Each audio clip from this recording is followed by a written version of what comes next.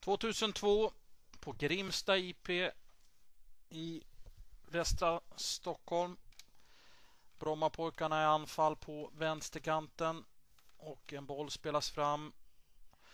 Och det blir duell nere på kortlinjen och VSK-spelaren klipper BP-spelaren och domaren dömer straff. Det blir inga protester alls från VSK-arna som ni kan se utan det var en fullständigt given straffsituation. Jag har tyvärr inte lyckats identifiera vem som blev fälld eller vem som fällde på de här bilderna som jag har här. Men eh, straff blev det i alla fall och eh, det är BP's Claes Henriksson som stegar fram för att stoppa bollen på straffpunkten. I mål för VSK David Wikström.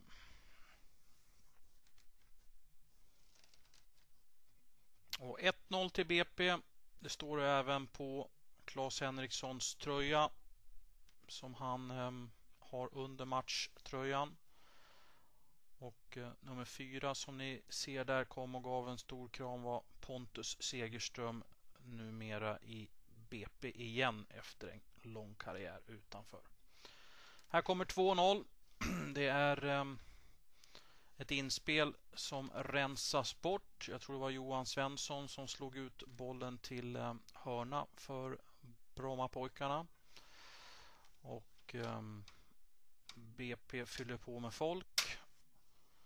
Kameramannen väntar med att förflytta sig in i straffområdet men när vi väl gör det så kommer hörnan här. Och det är Niklas Karlsson, numera i IFK Göteborg, tidigare i AIK, som knoppar bollen i mål. Och eh, BP tar ledningen med 2-0. Niklas Karlssons bror Thomas Karlsson har ju VSK mött i modern tid också många gånger. Han har ju spelat för Vasalund. Här kommer en reducering för VSK 2-1. Det är lite fint spel här. Bollen ut och ett inspel. Och vem är där om inte VSKs stora målskytt Thomas Fisken Andersson som eh, skottar bollen i mål. Thomas blir även utvisad här. Det blir en duell och en eftersläng. Ganska klar så, sådan också. En armbåge som träffar BP-spelaren.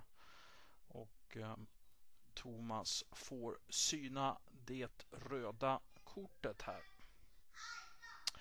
Matchen slutar 2-1 till Brommapojkarna.